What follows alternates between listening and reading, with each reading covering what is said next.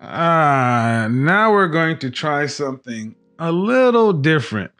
Uh, guys, I'm going to call these kind of videos fragrance moments. Instead of um, doing a full on fragrance review where, you know, it has to be kind of more or less scripted, I have to have my talking points, I have to go through my rating system.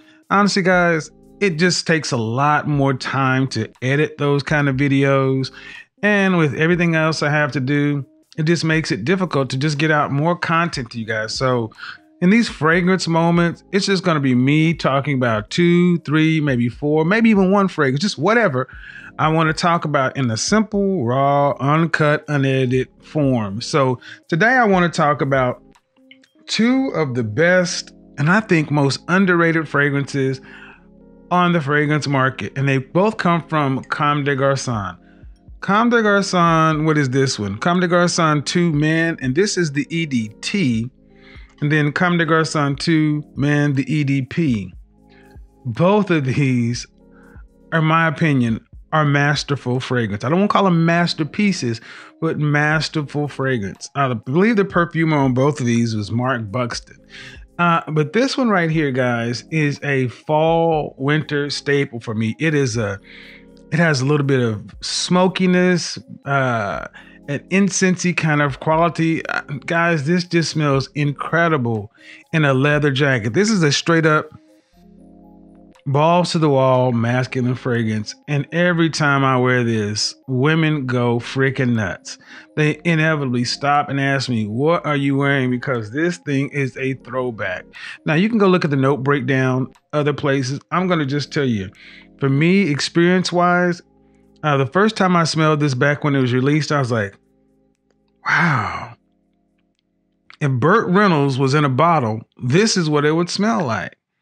And the cool thing about this is it doesn't lean old man.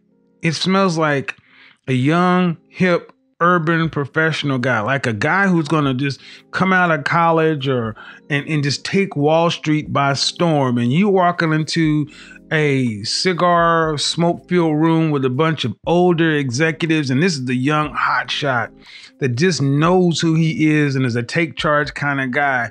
And there's something about him that maybe has like an old soul or something like that. There's just something familiar. That's this fragrance. Now, I think a lot of people have looked over this because honestly, there's so many good fragrances that get released year after year after year. The bottle in and of itself is really difficult to keep on the counter. I mean, you have to have like this little holder. I had to get this little holder to make it make sense. But it is so, so good. And now this one right here is the EDP. But strangely enough, this is kind of like the lighter one. This has an ethereal kind of quality, an inky like quality. Um, if you look at Nasomatto Blamage, often that gets compared to this one. What is this? This feels like we're in something and nothing else at the same time. It's one of those kind of idiosyncratic, kind of quirky fragrances that honestly, guys, it just works. Now, as far as compliments and all that other kind of stuff, neither one of these are compliment monsters, but they're definitely conversation starters because there's a unique quality about them. There's something that just makes the wearer or either the person smelling it just want to know more about it. And that's what I think Comme des Garçons does so well when they capture fragrances. I'm actually going to talk about what I think is probably one of their best fragrance offerings, the incense collection. Yes, I have the entire incense collection. And in my opinion, if you're an incense lover, you have to have those five. They're like the foundation of any incense collection, in my opinion. So more on that later. But just know this, guys. Comme des Garçons Man 2 EDP or EDT. I think if you love fragrances, you need to get these in your collection. Maybe not the 100 ml bottle, maybe get the 50 ml bottle. If nothing else, for the art of fragrance, um, these things need to be represented. And also, they're a blast to wear. They're just that fun. And the good thing about it is they've been around for a long time, so you can probably find them almost anywhere online. Now, obviously, these aren't in stores anymore. Um, so you're going to have to go maybe to you know one of the online gray markets or a reseller or if you even on ebay if you know somebody you trust grab it. Heck, these actually often float around for swap things too, so they're not extremely expensive. Uh, and for what you get, They are incredible. So that's going to be it for the inaugural kind of fragrance moment.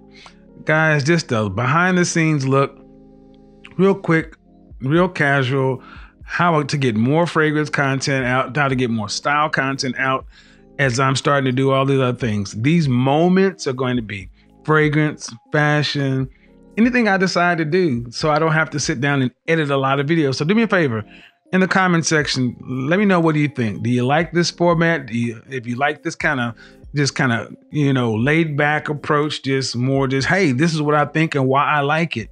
Let me know if you like it. If you don't like it, I'll know by the view count. Do me a favor though. I need the feedback. Don't just watch it move on. Hit the like button so you'll let me know, or hit the dislike button in the comments in particular. I need to hear back from you so we'll know how to proceed. Guys, until the next time, talk to you later. Peace out.